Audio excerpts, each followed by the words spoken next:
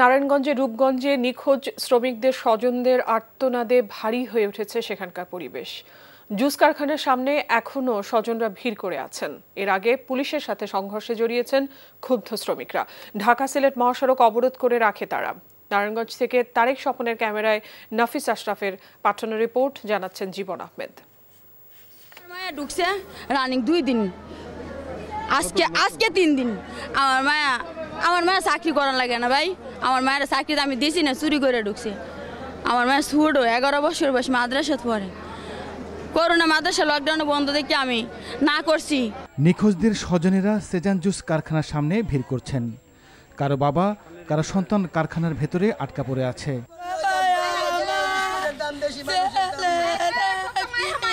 অনেকে দূর দূরান্ত থেকে এসেছেন আগুন লাগার খবরে। ভেতর থেকে ফায়ার সার্ভিস কর্মীরা যখন এক একটি লাশ বের করছেন, সে চিত্র আরও করুন। নিখোঁজদের স্বজনেরা হুমড়ে খেয়ে পড়ছেন মৃতদেহ শনাক্তে। তাদের আর্তনাদে ভারী সেখানকার পরিবেশ। বিশ ঘণ্টার বেশি সময় ধরে জ্বলতে থাকা ছয়তলার ওই কারখানার ভবনে কারও বেঁচে থাকার খুব বেশি আশা দেখছে না ফায়ার সার্ভিস। আমার আমার ছোট বোন কই ভাই? সবাই কইছে সব লোক উদ্ধার করছে। আমার ছোট বোন কই? কালকে সাতচল্লিশ আমার ছোট বোন। আমার ছোট বোন কালকে আমি পাঁচটা বাজে আইছি। এই জায়গায় ললিপপে কাজ করে আমার ছোট বোন। পাঁচটা থেকে ছয়টা পর্যন্ত মোবাইলে কল বাজে ছয়টার পরের থেকে আর মোবাইলে কল বাসে না। চারটালায় আর লাই দুই মিল্লা। দুইটা মিল্লা সেমাই বানাইতে। দুইজনকে পাওয়া যাচ্ছে না। আমার মেজো ভাই মোহাম্মদ আলী। উনি আমার সাথে সর্বশেষ সাড়ে পাঁচটার পরে কথা হয়েছে। শুধু একবার বলেছে যে ভাই আমি যদি কোনো ভুল ত্রুটি করে থাকি আমারে মাফ করে দিস। বৃহস্পতিবার বিকাল সাড়ে পাঁচটার দিকে হাসেম ফুড কারখানার ছয়তলা ভবনের নিচতলা লাগা আগুন ধীরে ধীরে ছড়িয়ে পড়ে ভবনের বিভিন্ন অংশে। Jibon Ahmed NTV news desk. দর্শক ঘটনাস্থলে আছেন সিনিয়র করেসপন্ডেন্ট মইদুল ইসলাম। যাচ্ছি তার কাছে। মইদুল মইদুল, আগুন কি পুরোপুরি নিয়ন্ত্রণে আনতে পেরেছে ফায়ার সার্ভিস এবং নতুন করে আর কোনো মৃতদেহ কি পাওয়া গেছে?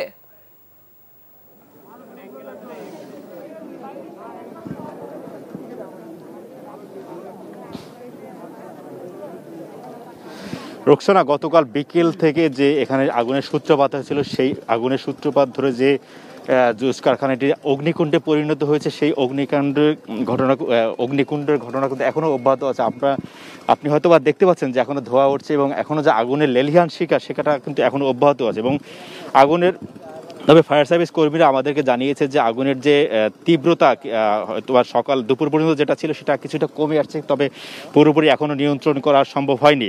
সেটা আসলে আসলে এই কারখানাটি এমন একটি জায়গায় অবস্থিত, এখান থেকে চারপাশ থেকে যে ফায়ার সার্ভিসের কর্মীরা যে তাদের আগুন নেভানোর যে কার্যক্রম পরিচালনা করবে, সেটা আসলে সম্ভব হচ্ছে না। তো তারপরেও ফায়ার সার্ভিসের কর্মীরা আমরা দেখতে পাচ্ছি যে চেষ্টা করে যাচ্ছে আগুন নেভানোর জন্য। তবে আগুনের যে তীব্রতা, সেটা যদিও কমে এসে, এসেছে, তবে এখনও পুরোপুরি নিয়ন্ত্রণে আসেনি এবং নিচতলায় দোতলার আগুন অনেকটাই নিয়ন্ত্রণে এসেছে। তবে উপরের যে দুইতলা, সেটার আগুন এখনও পর্যন্ত জ্বলছে, দেখা যাচ্ছে, এবং সেখানেও ফায়ার সার্ভিস কর্মীরা তাদের চেষ্টা অব্যাহত রেখেছে রাখছে, এবং দুপুরের আগ পর্যন্ত যে উনপঞ্চাশটি মৃতদেহ আজকে উদ্ধার করা হয়েছে, এরপরে আসলে আজকে এখন পর্যন্ত কোনো মৃতদেহ এখন পর্যন্ত পাওয়া যায়নি এবং গতকাল তিনজন মারা গেছে। সেই মোট মোট বাউন্ন জনের মৃত্যু এখন পর্যন্ত নিশ্চিত করা গেছে। তবে আগুন পুরোপুরি নিয়ন্ত্রণে না আসা পর্যন্ত আসলে বলা যাবে না যে এখানে কি- পরিমাণ মানুষের মৃত্যু হয়েছে বা আরও ডেড বডি আছে কিনা সেটা এখনও বলা যাচ্ছে না। তবে ফায়ার সার্ভিস কর্মীরা জানে- জানিয়েছে যে হয়তোবা আরও এক দুই ঘণ্টা বা আড়াই ঘন্টাও লেগে যেতে পারে যে আগুনের যে অবস্থা সেটা টোটালি পুরোপুরি নিয়ন্ত্রণে আনার জন্য। এবং পরা, পরে অবশ্য জানা যাবে যে মৃতদের সংখ্যা আরও বাড়বে কিনা বা আগুনে ক্ষয়ক্ষতি কি কি হয়েছে সেটা আসলে পরবর্তীতে জানা যাবে। কথা বলছিলাম মইদুল ইসলামের সাথে। ঢাকা মেডিকেল কলেজ হাসপাতালের সামনে আছেন আমাদের বিশেষ প্রতিনিধি হাসান মাহমুদ। যাচ্ছি তার কাছে। হাসান ঢাকা মেডিকেল কলেজের মর্গে যেসব মৃতদেহ রয়েছে, সেগুলো কি যথাযথভাবে শনাক্ত করে তাদের স্বজনদের কাছে বুঝিয়ে দেওয়ার প্রক্রিয়া কি শুরু হয়েছে?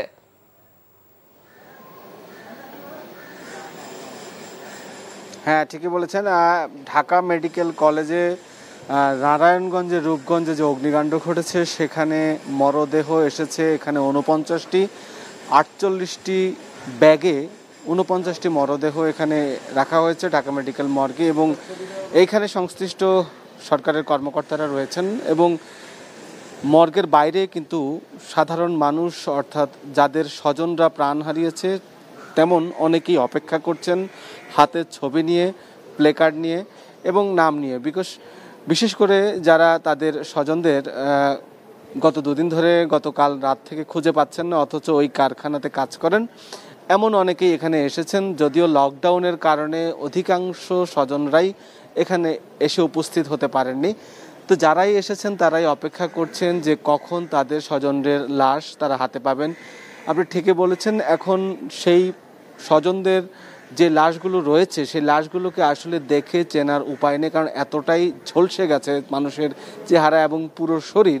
সেক্ষেত্রে এই জায়গাটিতে ডিএনএ শনাক্তের মাধ্যমে তাদের স্বজনদের লাশ শনাক্ত করে যার যার লাশটি তাদের কাছে ফিরিয়ে দেওয়া হবে। সেই প্রক্রিয়া এখনও শুরু হয়নি, তবে এখানে যিনি রয়েছেন সরকারি কর্মকর্তা এবং যে তদন্ত কর্ম, এই প্রক্রিয়াটি পুরো দেখছেন। তিনি কিন্তু নাম লিপিবদ্ধ করছেন এবং নাম লিপিবদ্ধের পরেই হয়তোবা এর পরেই এই প্রক্রিয়াটি শুরু হবে।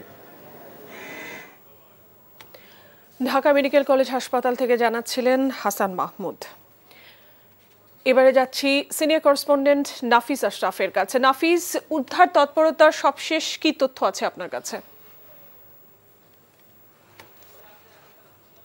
তথ্য হচ্ছে কিছুক্ষণ আগে বিষয়ের ফায়ার সার্ভিস কর্মকর্তার সাথে কথা বলেছি। তিনি বললেন আরও ঘণ্টা খানিক সময় লাগবে আগুন নিয়ন্ত্রণে আসতে। আহ, ছয়তলার আগুন এখনও কালো ধোঁয়া ছেয়ে যাচ্ছে এবং এটা নিয়ন্ত্রণে আসার পরেই তারা ড্যাম্পিং এ নামবে। পাঁচতলা এবং ছয়তলা এর আগে যে উনপঞ্চাশ জন মৃতদেহ পঞ্চাশ শ্রমিকের মৃতদেহ উদ্ধার করেছে তা করেছে চারতলা পর্যন্ত।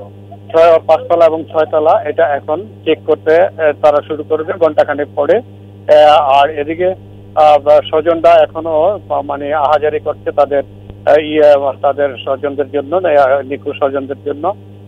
প্রশাসন বলছে, যাদেরকে উদ্ধার করা হয়েছে, যে সমস্ত লাশ উদ্ধার করা হয়েছে, তাদেরকে ঢাকা মেডিকেল কলেজে পাঠানো হয়েছে এবং ঢাকা মেডিকেল কলেজ থেকে স্বজনরা যে তাদের, যে তাদেরকে চিহ্নিত করবে, চিহ্নিত করা হলে সেখান থেকে লাশ দেওয়ার প্রক্রিয়া শুরু হবে এবং যে সমস্ত লাশ কিনতে না পারবে, তাদেরকে ডিএনএ ডিএন পরীক্ষার মাধ্যমে সে সমস্ত লাশকে পরীক্ষা করে আর শনাক্ত করে তাদেরকে দেওয়া হবে।